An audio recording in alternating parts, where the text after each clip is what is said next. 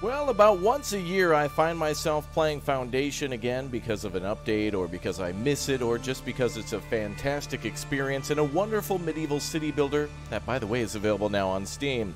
Well, consider today's episode as kind of a hey, I missed this game, but I can't wait to come back to it when they have a big O update sometime later this year. On the right side of the screen, you'll see that the game was last updated in December 14th of 2021. And in 2021, I played this game early that year. And now that we're in 2022, a year has passed and there's been lots of great things. We've recently done some live streams on this game, but no new real playthrough here in the videos. And I know a lot of you guys really like the videos on the channel, especially of city builders. So consider this as kind of a hey, I missed you guys who like the videos, and a hey, coming soon to Foundation are some big updates and I want to get excited about them. And I want to make it clear that I'm going to be playing Foundation again in a full playthrough whenever they release all of the new stuff that they have planned, including all sorts of new buildings and uh, map generator and new resources and things like that coming soon to the game. So if you want to see more of this game, make sure you go ahead and click, tap, blow up, and destroy that like button. And thank you very much for subscribing. We're going to jump in now as a hey, I missed you guys. Welcome back, and more to come soon kind of episode.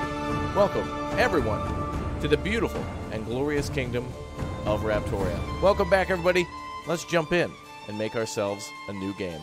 All right, well, we're going to go ahead and. Uh, previously, in the live streams, I've been playing in a game map called Hills. And again, there will be a custom map generator here in the future. There's also some modded maps in the game, too, so if you're a big fan of that, you can go ahead and try out all the, uh, you know, the modded maps, too. And there's tons of mods for this game as well. If you're a big fan of Foundation, rather, I should say, you should be a big fan of Foundation because it's fantastic. But if you like Ostriv, if you like Banished, if you like uh, Settlement Survival, or any sort of medieval building game, this is a fantastic one for you and usually goes on sale often. I think we're going to go ahead and play on a map that I haven't played on in a while and or that looks new to me, although it looks like they've revamped it a little bit. Uh, Fluvial? I think that's how you say it. Map features long stretches of river that split the land. Bridges must be built uh, earlier to allow passage across the rivers for villagers and immigrants alike. All right, well, let's go ahead and jump in to yet another wonderful Kingdom of Raptoria. Glory to Raptoria down below in that comment section. Let's get started. Welcome aboard. I hope you're all doing well, and I hope you enjoyed today's video. Let's go. Oh, quite the beautiful map. Playing this game always reminds me of games like, uh, for example, Stronghold, which I hope they really do like a remake of the original Stronghold. Keep the story the same, but like bring it into uh, modern graphics and modern gameplay with modern UI. Speaking of UI too, I realized that a lot of you didn't like the UI that was in the game from before, and we'll see some of this stuff here shortly. But they've revamped basically the UI on the main screen as well as how the uh, kind of the inner workings, or otherwise known as the book of the game, work. Things like how to assign workers and soldiers and things like that. And oh, yes, in this game you can build an army, build defenses. It doesn't really work like uh, it does in Kingdoms and Castles. You can't really be attacked, but you can build a giant army and send it out to attack others and invade them as, as the king would require. Oh, yes. Well, let's go ahead and find a place to settle our kingdom. I think we can purchase uh, territory pretty much anywhere that's pre-marked. Um, some of these areas are a little harder to start in than you would imagine because, you know, they're so... Um, well, they have to have several resources to start with. They have to start with berries, rocks, and of course, or otherwise known as stone, and also trees. I realized recently, too, that you can actually mine the stone in some of these rock faces.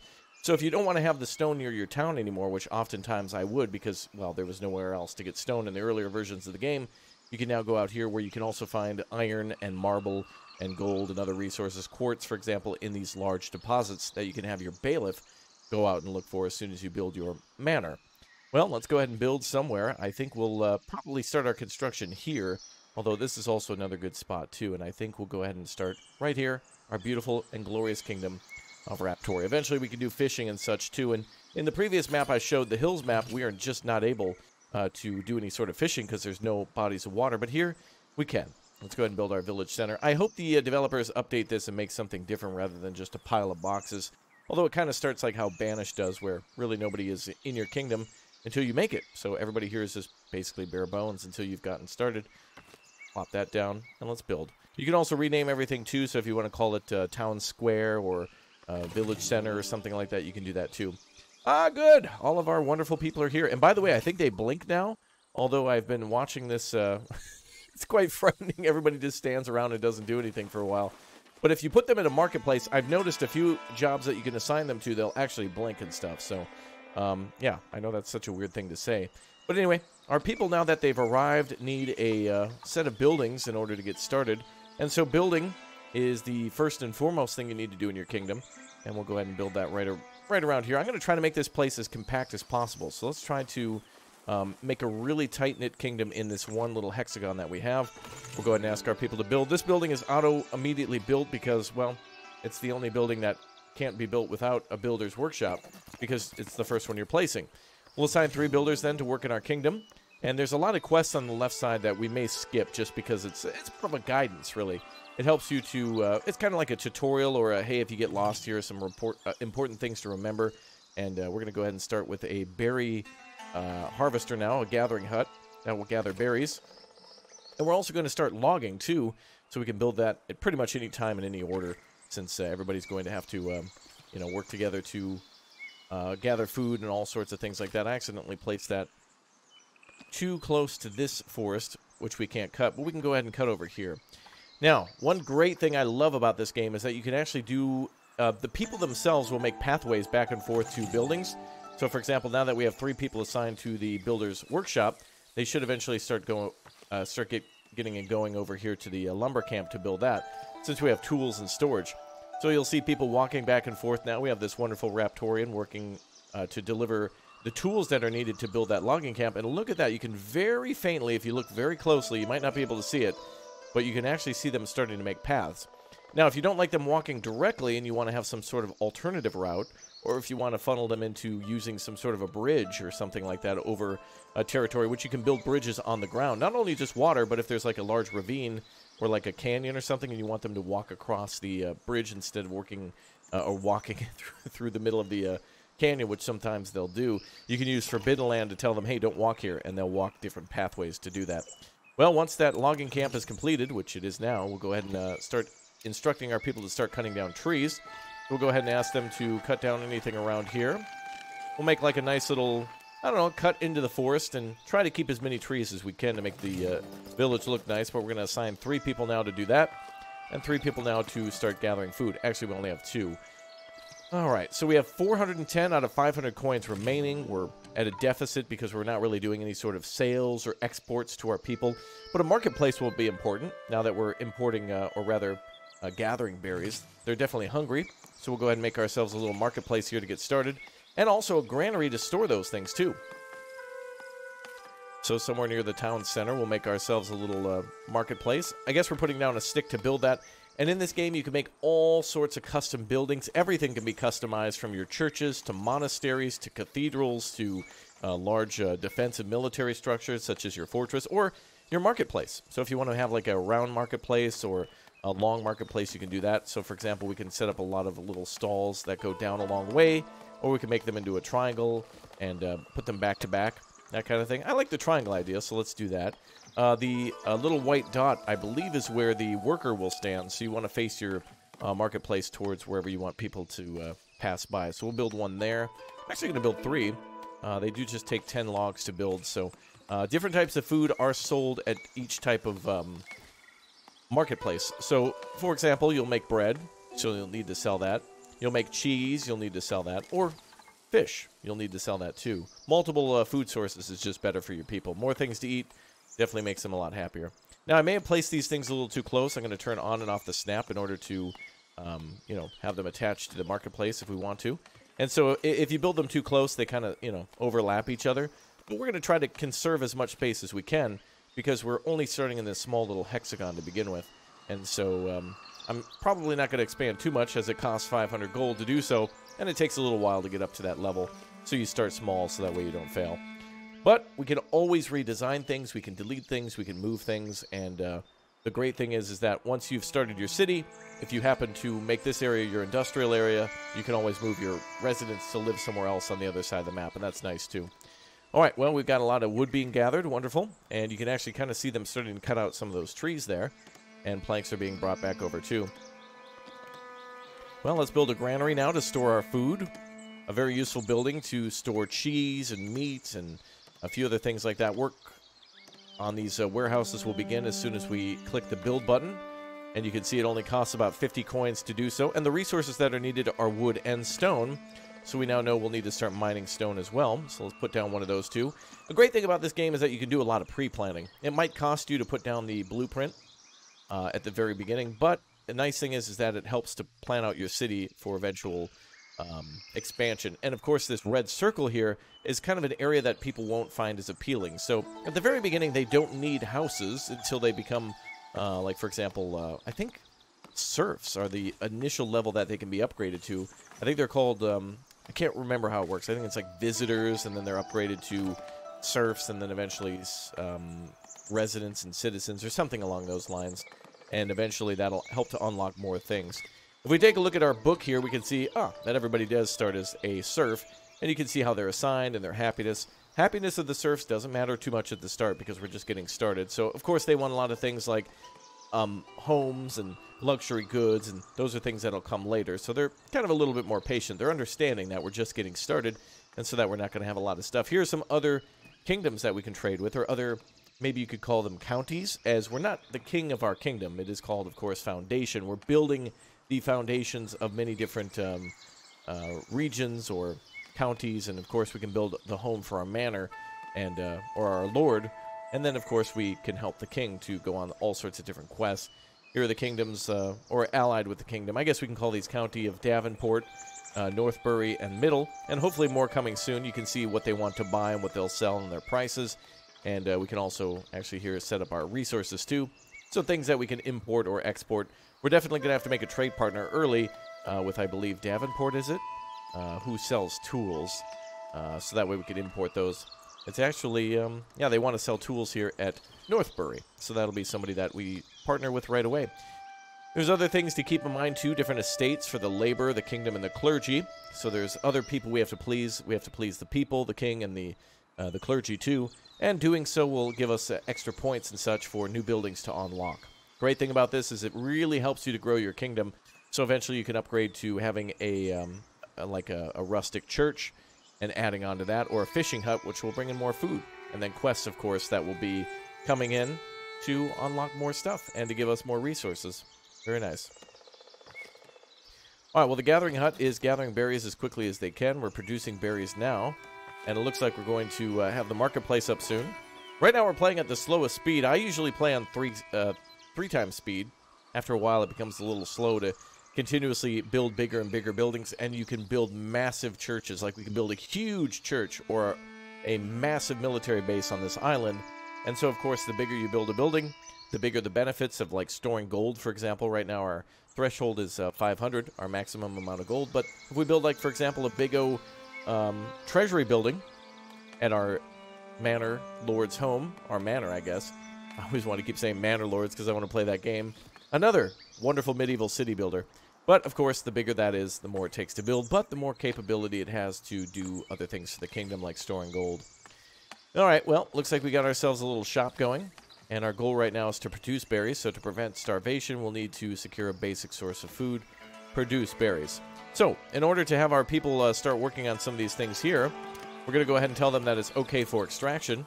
So right now our construction guy here is building the stone uh, mining area, but we need to approve it for extraction. So for the stone miner, we're going to tell them, hey, it's okay to mine stone here. So other stone miners, if there was one over here, we could build it here, and they could walk all the way to gather stone and all the way back. But it's just built a better to build it close. And we'll do the same here with our little berry farm. So let's go ahead and get started there. And boom, you see our little berry gatherers starting to work on gathering berries. They'll bring them back to the little hut, and then eventually they can store them in the granary when we have more materials available to build that. Granaries are good, increases your storage capacity, and weather is a thing in this game. Storms can hit your kingdom and uh, will definitely hurt your kingdom's expansion a little bit because, of course, a shortage of food means unhappy people, unless people want to immigrate to a kingdom that's having any sort of, well, especially a food problem. All right, well, no quests right now. We'll continue to um, wait for those to come in, and we'll continue to cut down trees. They don't want us to stock resources, so would you look at that? we need to build a granary now. And, uh, of course, we're going to get started on that as soon as we have more stone. Let's go ahead and assign some people then to gather stone. We're going to reappropriate our workforce. Let's go ahead and get maybe one person on wood cutting. We'll go ahead and get the other two back into the uh, back into other jobs now. Let's go ahead and try to get at least one person in each job. So we'll have one builder, one logger, one person working at the marketplace. We'll have that one person sell berries. We've assigned them now to sell berries at the marketplace. That's a very good idea. We'll have one person working at the uh, the what is this here? The stone miner? Yeah, there we go. One person working at the berry uh, harvester, the gathering hut, I should say, and the stonecutters camp will have one person too. And then we can see how many people are unemployed here eventually. Three are unemployed. Always a good idea to have a little unemployment in your kingdom because that always gives you an opportunity to expand into new areas of industry. For example, if you're going to do um, iron mining, that's going to take a few people to mine the iron. It's going to take a few people to burn uh, trees into charcoal. Going to take a few people to work at the blacksmith and a few people to transport all those goods back and forth to your warehouses. So you think to yourself, oh man, I have 15 unemployed. That's a lot of people. Not really. Everything has to be uh, transported by hand or built by hand. So it's going to take a while for everything to be transported, and it has to be done via, well, one of your villagers, your settlers, your your uh, your people, your followers, your flock, whatever you want to call them. All right, so we can see we have 44 wood, 10 cloth, 15 berries. That's good. Uh, the granary is going to be the next building to be constructed by the uh, builder. So I'm going to assign a few more people to the builder then so we can get that done. And then we can take them off that job too. And we can always take a look at the book to see what people are doing and uh, who may be unemployed. So we have a couple, maybe one, two unemployed. Looks like just one. And we'll kind of keep them unemployed for random jobs as they come up since we have quite a bit of wood. In fact, I'm going to go ahead and put them on the stone because we're going to need a little bit more stone. Here we can see at the granary what's being delivered. We need uh, five in total stone, and we need 15 in total wood. And there's also planks in this game too, so consider wood to be more like logs and planks to be more like lumber.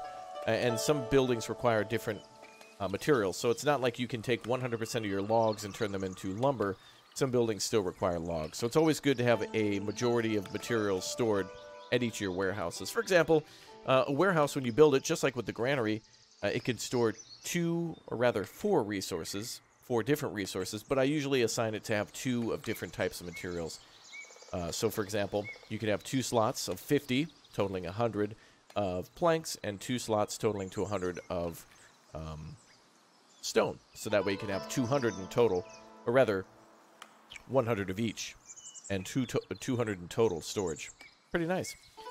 All right, a lot of people stand around too at the end of their workday. These people would be back at home if they had homes to build. And you can see here under the residential, uh, or actually, we don't have that yet. But eventually we would get we, we do get a residential tab where we can tell people it'll be okay to build homes there. And that's a system that they'll be revamping in the future in this game. Where sometimes people, if you uh, paint the ground and tell them, hey, everybody can go ahead and build homes here, it's all based on desirability, but sometimes people won't build a home if you don't have them up to a certain level. I believe serfs don't really need a home, but once you make them into, um, I forget exactly what the first tier is. Let's just call, say it's called um, citizens, um, but that's not what it is. But once you upgrade them through promotion, you have to pay them a little bit more, or you have to pay for their upgrade, but they'll buy a lot more stuff in your kingdom, which is pretty cool. And that's a great way to generate money because, of course, the higher level they are, the more things they'll require, like clothing and different types of food, food maybe luxury goods like wine, or uh, perhaps maybe um, uh, perhaps uh, uh luxury goods like jewelry. But that's when you get them more and more upgraded. All right, looks like we got a builder here working on the granary now. Fantastic. We can go ahead and name this the uh, McDonald's if we want to or whatnot. Or berry storage. Great way to organize things. There we go. And we can go ahead and save that there. So, great way for you to be able to designate what's what. Gathering Hut only gathers berries, by the way, so just don't imagine it gathering anything other than that. Um, I would like to see more things in this game, though. Things like mushrooms and onions and I always go back to Banished when I think of these types of games. Banished being the, at this point, great great grandfather of these types of survival building games like this. Although this one is much more casual. If you're not really a person who builds often in these types of games, if you are a little more hesitant to uh, games that seem to be a little more um, focused on material gathering, like Anno 1800, or maybe Banished, or uh, many of the other games we play on the channel, like Kingdoms and Castles, and you're more of a City Skylines player, I think Foundation is a great way to ease yourself into these kind of more free-form building games. Uh, City Skylines can be a little bit more grid based, and Anno 1800 itself certainly is grid based as well, building roads at 90 degrees. But you can see here, everybody's building their own roads, and you can, of course, tell them to uh, not take certain roads if you don't want to. If you want to keep everybody on the main road, uh, you can go ahead and tell them, hey, don't don't walk this way, and they'll respect your wishes and either walk all the way around, or they'll walk um, wherever you've indicated not to be restricted. There we go. And that way your paths can be nice and organized and your kingdom will look good too. A lot of times things can get really smashed together and it's hard to tell what's what in this game. And so some more options to control um, districts would be good. And that's another thing we can do in the future is build walls around things. So we can take stone walls and wall off like an industrial area. For example, if we have a bunch of charcoal kilns, we can kind of wall that off and, you know, keep that so that way sheep don't wander near it or cows or pigs or whatever. We don't have pigs in the game, but you get what I'm saying. And more future things are always added. I love the look of the building buildings in this game. I think it's um, uh, not really low poly, but it definitely feels like a low poly game. Like again, kingdoms and castles.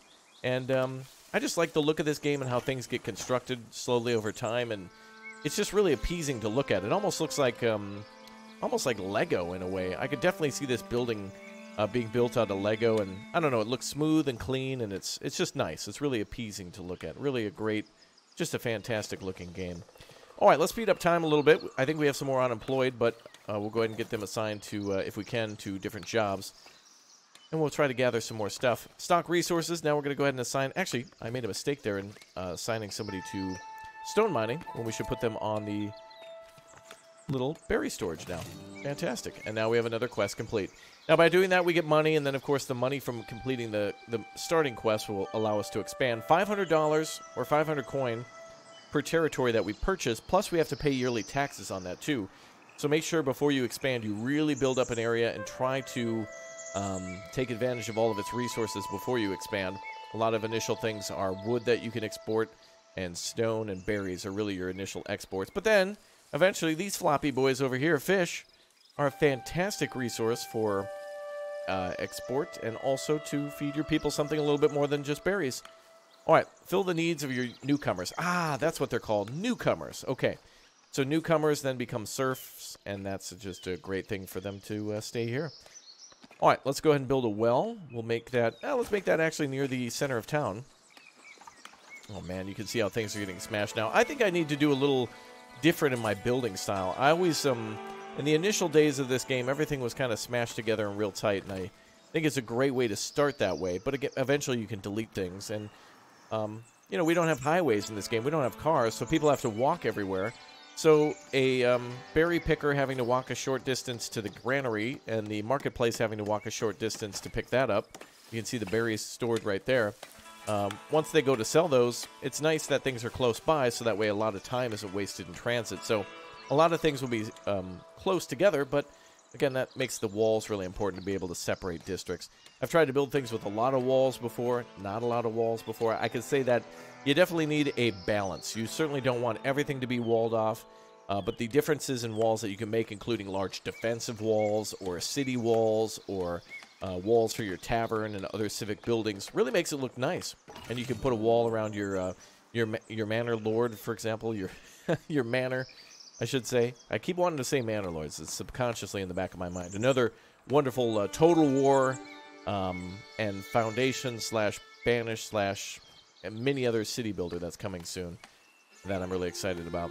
All right, raise the happiness of your village to 100. That's going to be easy since we're supplying the berries that they want. We've gone from the 60s up to 75, and it'll continue to increase to 100, and so that goal should auto-complete shortly. And then, once we're done with that, we should be able to uh, cordon off where we want houses to be, and this is a perfect area here to build our town. Um, but more things will unlock soon. Now, if you're an expert in this game, or if you're a newbie in this game, mods are definitely a thing that'll help you out in making things like, for example, stairs and uh, tiered cities where you can build a city like up on a hill and then have stairs and stuff go down to a lower section and can make a nice little tight-knit neighborhood rather than spread out a little bit more, which is something I often uh, sometimes do too.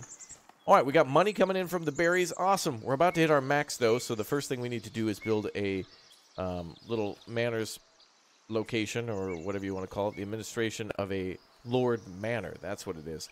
And that's going to be a great way for us to expand our treasury, and also will allow the king to send out a um, messenger in order to meet with us to tell us things that the kingdom needs, and then it's on us to try to, as best as we can, uh, meet those demands.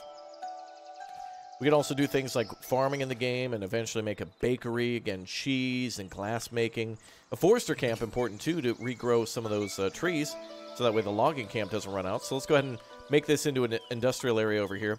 If you're going to make a industrial area in your uh, kingdom or in your county, uh, definitely put it tight together so that way the area is not as desirable for people. Nobody wants to be next to a lumber mill or a sawmill or something like that. So you can always keep those likewise buildings together.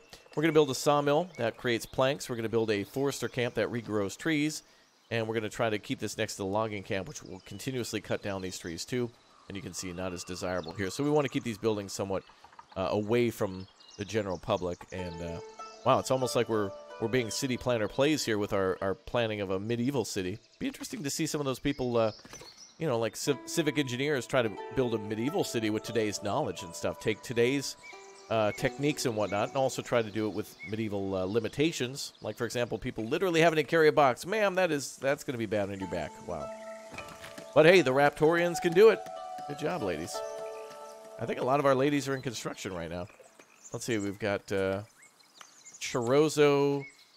uh, Benedict Cumberbatch, and Oofbert working in the Oh man, that makes me think of Eggs Benedict now. Oh man.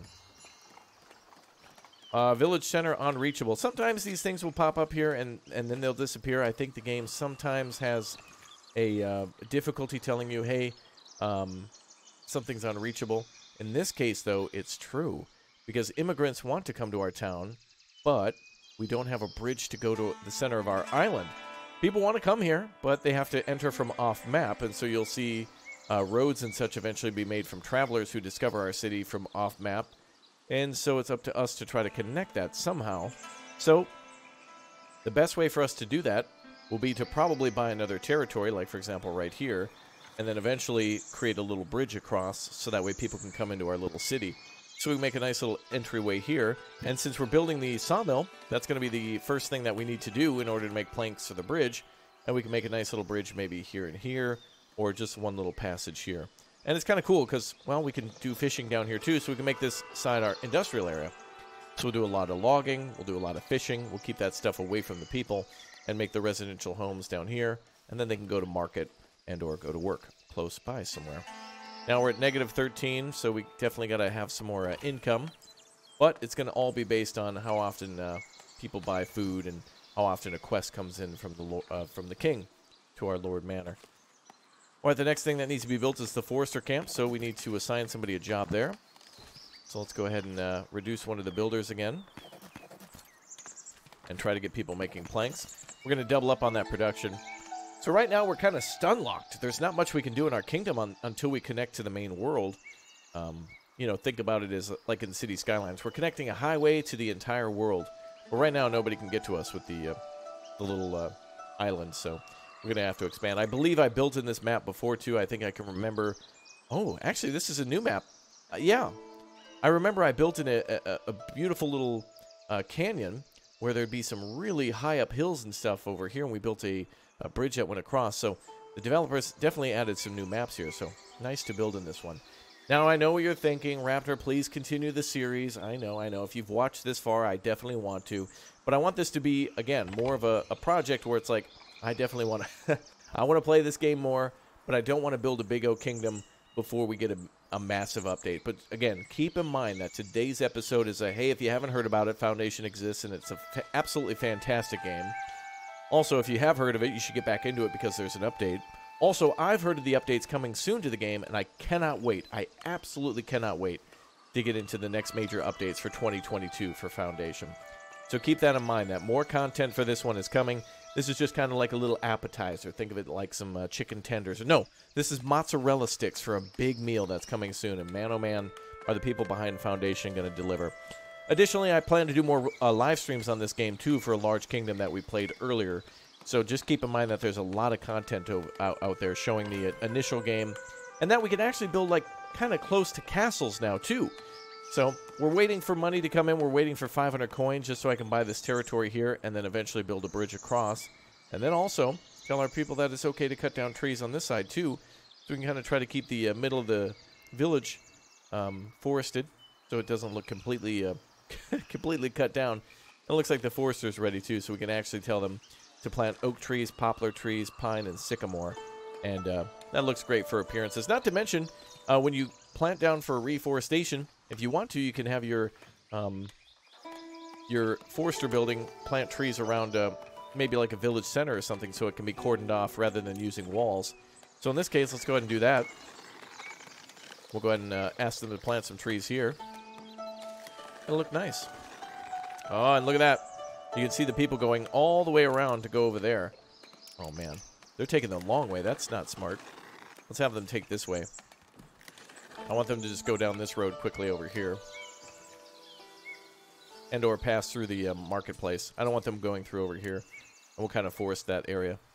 So that way it looks nice. So yeah, we can cordon off areas with trees. We can use walls. It all looks beautiful. All right.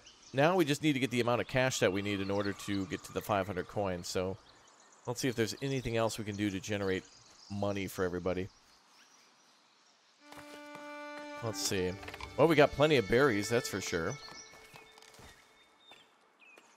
Wonder if we can take out a loan. I guess not, can we? And yes, the taxes will be 10 coin per week on this one, too. Now, another thing I remember, although it may have changed, is that in this game, when you go out on military quests, there's massive rewards for doing so. You can get big weapons, you get blueprints for new buildings, you can also get uh, perhaps a territory unlock. I think that's still a thing, where you can get free territory from the king.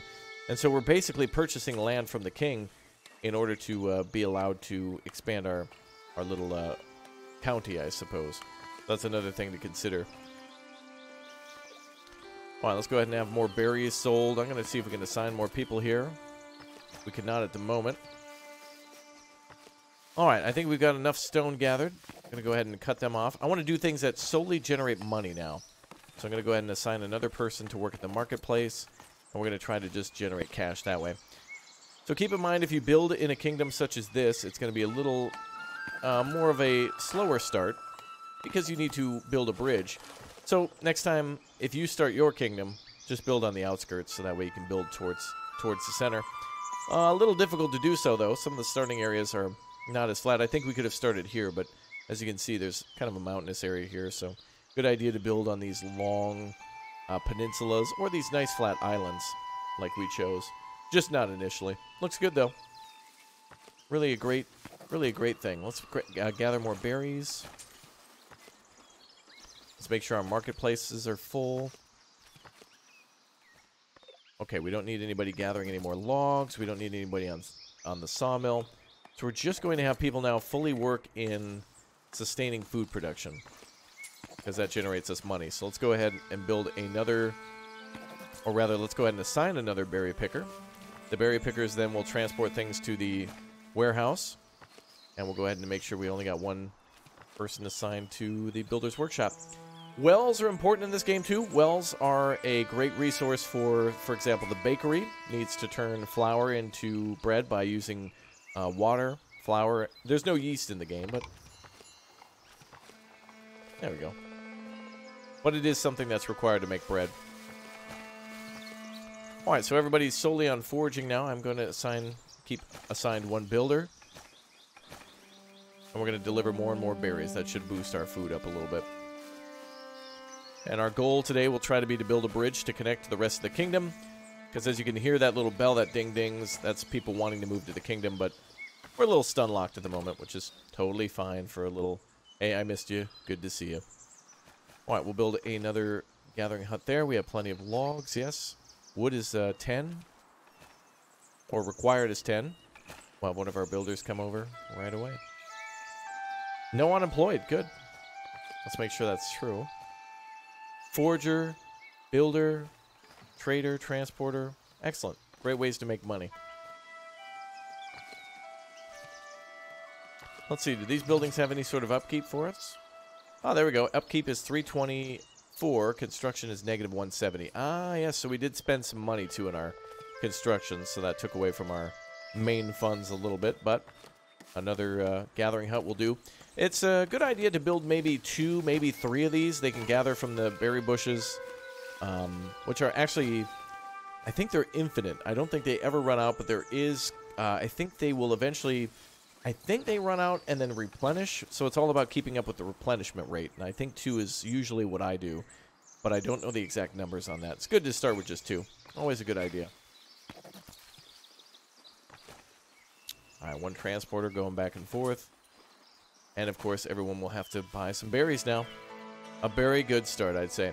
All right, so our next goal would be to purchase this territory here and then build a little bridge to connect. And then there probably would be some people connecting this way, uh, building a little uh, road as they come in down this way into our little kingdom. And a great idea to have this uh, island fortress. We could put a little wall around the city if we wanted to build a bunch of little fishing docks, and uh, eventually expand to stone bridges too, which are a little wider. I don't know if they provide any sort of uh, benefit other than just being shiny, but again, that little uh, ding ding means that people want to be um, in our kingdom and they want to go to the middle. So we got to build ourselves a bridge, but it all comes down to money. Kingdom's working great. All right, nothing else to build. Let's go ahead and assign chorizo, mm, chorizo. I think that's what I'm trying to think of. Over to gather some more berries.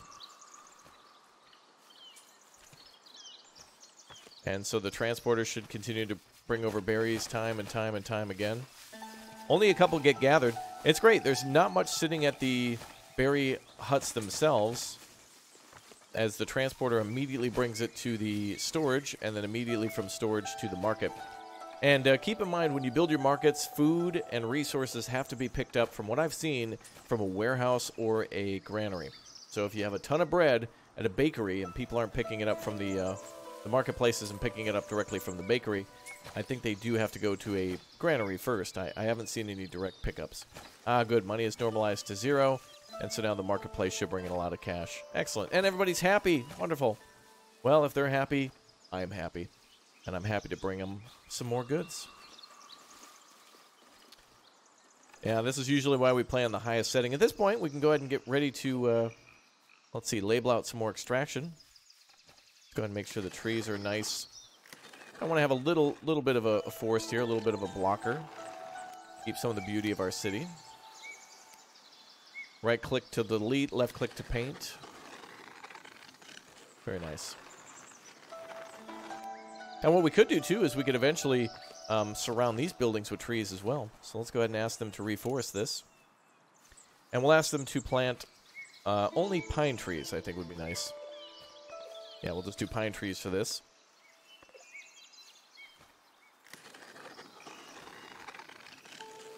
So these will be regrown in this area that we've decided to cut down. Takes a long time for trees to regrow. Not too long, but it does it does take a little bit of time. There we go. Looking good. And then maybe we can plant some trees here, too, to separate the roadway uh, from the um, houses that we plan to build in the southern section.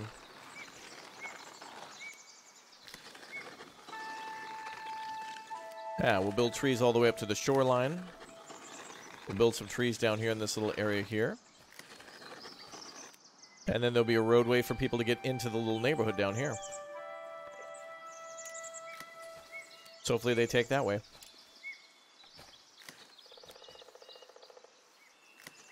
There we go. Just so that way no lazy bones tries to go down into the, um, down through the forest and that type of thing. Then eventually we'll build walls and make a, like a beautiful stone wall here and you can add a ton of detail to everything. Oh, look at that, baby. We got so many berries. Awesome. Oh, yeah. All those marketplaces are full, too. Very good. All right. Now, eventually we can get out of this financial situation. This is going to take some time for everybody to get hungry enough to do that. And uh, I've definitely played on this map before. I think in this in, in this northern section, uh, it used to be a larger lake. It looks like they've changed the map a bit. There used to kind of be a, a big lake here. This island wasn't here, but there were some of these other islands. And so you could kind of start like over here, and you could build a neighborhood here. It's so familiar. Uh, but when they brought around the new resources, or rather the resources that were in these large deposits, I love the way this looks. Absolutely beautiful. It looks like plastic. It looks like a playset. Uh, that's when they changed the map. So all good. All right, what are our upkeep right now? Is there? I think it's actually the buildings uh, that we need to. Uh, I think we could turn them off, or you can always demolish them too to actually see. Oh yeah, there you go. Week, monthly, weekly maintenance cost. So 15 there, five there. Oh, 50 there at the Forester camp. Holy crap. All right, we'll probably just delete these buildings then, so that way we don't have to pay for them. Yeah. Otherwise, we won't be able to get out of it. But that's fine.